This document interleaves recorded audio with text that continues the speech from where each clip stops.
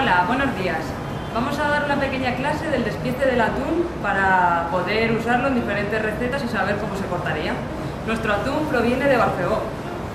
Eh, siempre nos mandan las tarjetas de trazabilidad donde puedes ver el recorrido que ha tenido el atún, los análisis del animal para cuando se sacrificó y saber que todo está en orden y que respetamos todas las medidas de seguridad y higiene.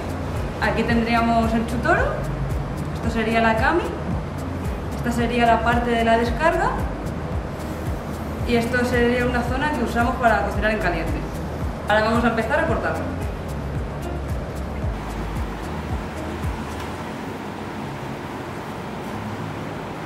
Esta parte del atún no se puede usar en crudo porque tiene muchísimas vetas. Entonces lo que se suele utilizar es para cocina caliente. ¿De qué manera? Pues se hacen medallones, se pasan por harina, se, fríen para sellar todas las capas y luego se mezclarían con una salsa teriyaki, haríamos un atún teriyaki. Quedaría muy bueno.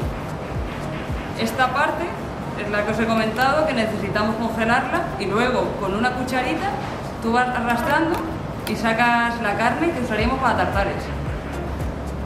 Ahora lo que voy a hacer es diferenciar las partes.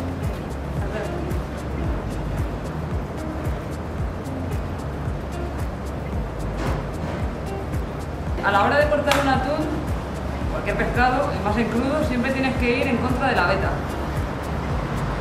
Porque si tú fueras a favor de beta, te encontrarías la fibra y te resultaría desagradable en boca. Entonces, aquí la beta va hacia arriba, pues yo tengo que ir hacia abajo.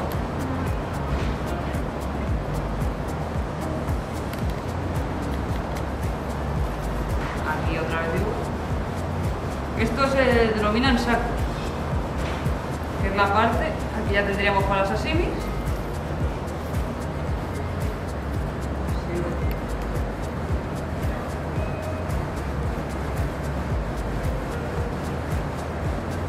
todavía me deja hacer otro corte así. Tú siempre tienes que ir mirando las vetas. Una vez cortado el atún, ahora vamos a poder diferenciar los diferentes tipos de, de sacos. Bueno, como veis tiene una tonalidad que va cambiando de color. Entonces vamos a explicar por qué. Esto sería la parte de la cami, que es la parte más magra del atún. Esta también. Y aquí ya veis que empiezan a variar los colores. Esto también sería cami y a partir de aquí ya tenemos el chutoro. El chutoro es una pieza que mm, es la que está pegada a la piel, entonces el atún va, cogiendo grasa para protegerse del frío del agua y, y, consigue esta capita de grasa.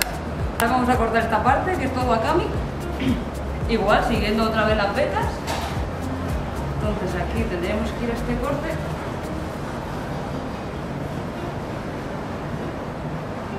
Y ahora aquí ya buscaríamos la beta.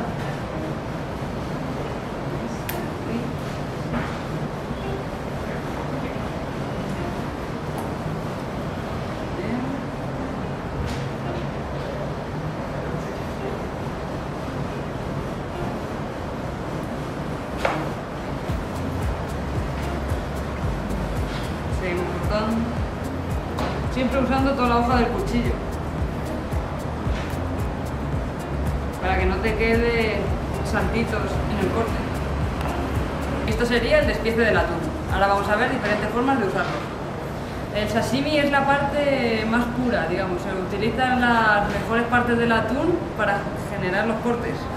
No puede tener ningún tipo de fibra, ni golpe, nada, tiene que ser la mejor parte. Eh, a la hora de realizar el corte, siempre a contra de la fibra y el corte de un solo movimiento.